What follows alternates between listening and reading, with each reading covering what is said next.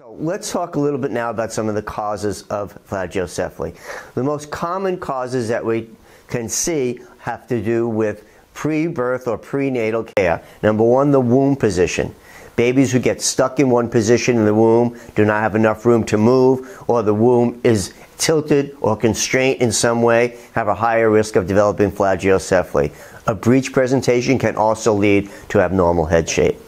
The next factor is multiple births. It appears that plagiocephaly is common in cases of multiple births where there is limited space. So if there's twins or triplets or anything more than that, because of the compression inside the uterus or the position of the babies, usually one or both may have some form of plagiocephaly. Premature birth is a common factor in fragile plagiocephaly. Premature babies have very soft skulls. The membranous portion of the skull, which is all the surrounding cranial bones, the frontal, the parietal, and the occipital bones, are very membranous in nature, so they're pliable within themselves. And since the baby hasn't developed fully, these skulls tend to be a little bit softened. They also may spend extensive time in neonatal place in neonatal care, so they'll be laying in one position, basically against their occiput, for a longer period of time. So normal skull development may not occur, and that will cause a flattening in the posterior aspect of the skull.